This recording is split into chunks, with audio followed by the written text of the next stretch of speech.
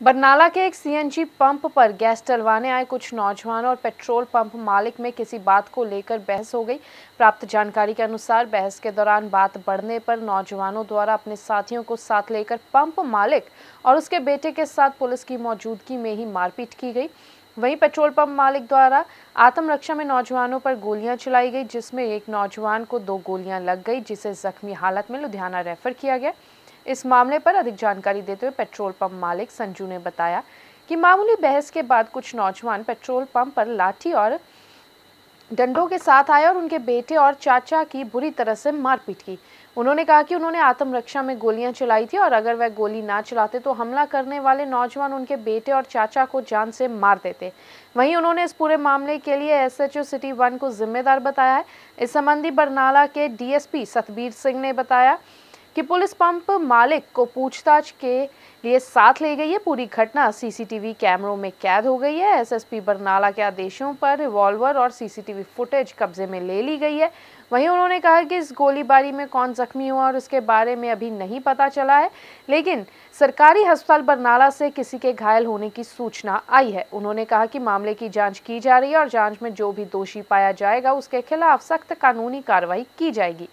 बरनाला से हलचल के लिए विनोद शर्मा की रिपोर्ट ਅਟੈਕ ਮੇਰੇ ਛੋਟੇ ਛੋਟੇ ਭਾਈ ਤਰਲੋਕ ਸਿੰਘ ਤੇ ਹੋਇਆ ਜੀ ਸਵੇਰੇ ਸੀਐਨਜੀ ਵਾਲੇ ਪੰਪ ਤੇ ਜੋੜੇ ਪੰਪ ਵਾਲੇ ਸੀਐਨਜੀ ਵਾਲੇ ਪੰਪ ਤੇ ਸੀਐਨਜੀ ਪਾਉਣ ਗਏ ਤੇ ਉੱਥੇ ਮੁਲਾਜ਼ਮ ਉਹਨਾਂ ਨੂੰ ਗਾਲੀ ਗਲੋਚ ਕਰਨ ਲੱਗ ਗਿਆ ਸੀਐਨਜੀ ਦੇ ਢੱਕਣ ਖੋਲਣ ਦੇ ਗੱਲਬਾਤ ਵਿੱਚ ਤੇ ਉਹਨਾਂ ਨੇ ਫਿਰ ਸਾਰੇ ਮੁਲਾਜ਼ਮਾਂ ਨੇ ਇਕੱਠੇ ਹੋ ਕੇ ਉਹਨਾਂ ਨੂੰ ਛੋਟੇ ਭਾਈ ਨੂੰ ਕੁੱਟਿਆ ਉਹਨੂੰ ਤਰਲੋਕ ਸਿੰਘ ਨੂੰ ਸਾਰਿਆਂ ਨੇ ਪਹਿਲਾਂ ਕੁੱਟਿਆ ਫਿਰ ਉਸ ਤੋਂ ਬਾਅਦ ਮਾਲਕ ਆ ਗਿਆ ਸੰਜੂ ਨਾਮ ਆ ਜਿਹਨਾਂ ਦਾ ਜੀ ਸੰਜੇ ਤੇ ਉਹਨਾਂ ਨੇ ਵੀ ਛੋਟੇ ਭਰਾ ਨੂੰ ਕੁੱਟਿਆ ਉਹ ਸਾਰਾ ਅਸੀਂ ਫਿਰ ਕਾਰਵਾਈ ਕੀਤੀ ਕਾਨੂੰਨੀ ਕਾਰਵਾਈ ਹੋ ਚੁੱਕੀ ਸੀ ਉਸ ਤੋਂ ਬਾਅਦ ਦੁਪਹਿਰੇ ਅਸੀਂ ਟੈਂਪੂ ਲੈਣ ਵਾਸਤੇ ਉਹਨਾਂ ਦੇ ਪੁਲਿਸ ਤੋਂ ਪਰਮਿਸ਼ਨ ਲੈ ਪੁਲਿਸ ਤੋਂ ਪਰਮਿਸ਼ਨ ਲੈ ਕੇ ਜਦੋਂ ਵਹੀਕਲ ਲੈਣ ਵਾਸਤੇ ਅਸੀਂ ਪੰਪ ਤੇ ਗਏ ਤਾਂ ਮੌਜੂਦਾ ਉੱਥੇ ਉਹਨਾਂ ਦਾ ਪੰਪ ਦਾ ਮਾਲਕ ਸੰਜੂ ਤੇ ਉਹਨਾਂ ਦਾ ਬੇਟਾ ਉੱਤਮ ਬੰਸਲ। ਦੋਨੇ ਜਣੇ ਉੱਥੇ ਮੌਜੂਦ ਸੀਗੇ। ਉਹਨਾਂ ਨੇ ਸਾਨੂੰ ਰੋਕਿਆ ਤੇ ਰਾੜ ਕੱਢ ਲਿਆ ਸਾਨੂੰ ਕੁੱਟਣ ਵਾਸਤੇ ਤੇ ਉਸ ਤੋਂ ਬਾਅਦ ਜਦੋਂ ਅਸੀਂ ਵੀ ਆਪਣੀ ਬ- ਬਚਾਅ ਬਚਾਅ ਵਾਸਤੇ ਬਾਹਰ ਨਿਕਲ ਕੇ ਭੱਜੇ। ਬਾਹਰ ਨਿਕਲ ਕੇ ਭੱਜਣ ਲੱਗੇ ਤਾਂ ਉਹ ਆਪਣਾ ਬੰਦੂਕ ਬੰਦੂਕ ਆਪਣੀ ਪਿਸਟਲ ਕੱਢ ਲਏ। ਕੁੱਲ 7-8 ਕੁੱਲ 7-8 ਫਾਇਰਾਂ ਦੇ ਵਿੱਚੋਂ ਦੋ ਫਾਇਰ ਲੋਕ ਦੇ ਵੱਜੀ।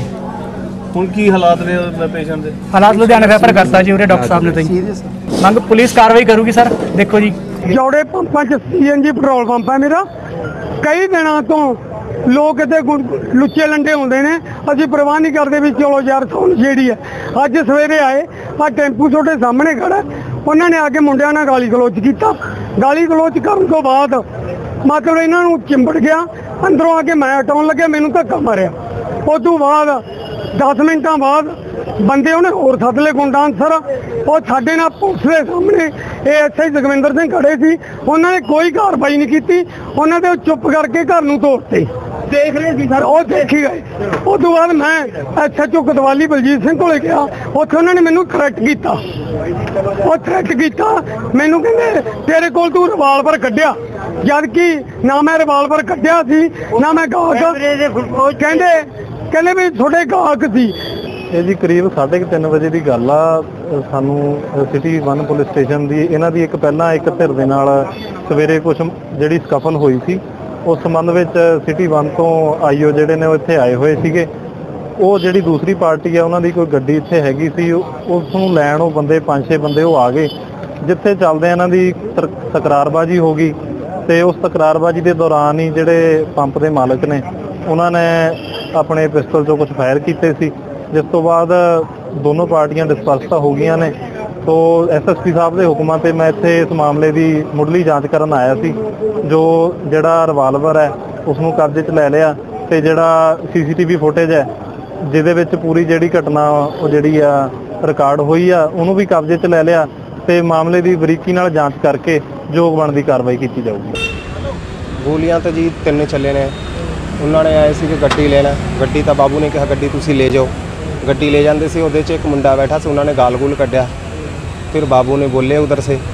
ਫਿਰ ਇਹਨਾਂ ਨੇ ਮਗਰ ਪੈ ਗਏ ਡਾਂਗ ਲੈ ਕੇ। ਬਾਬੂ ਦੇ ਕੁੱਟਣ ਲੱਗੇ ਤਾਂ ਹੀ ਬਾਬੂ ਨੇ ਫਿਰ ਬਾਅਦ 'ਚ ਮਗਰੋਂ ਗੋਲੀ ਚਲਾਈ। ਗੋਲੀ ਵੱਜੀ ਵੀ ਹੈ ਕਿਸੇ ਤੇ? ਗੋਲੀ ਦਾ ਜੀ ਸਾਨੂੰ ਪਤਾ ਨਹੀਂ ਲੱਗਾ ਹਜੇ ਵੱਜਿਆ ਕਿ ਨਹੀਂ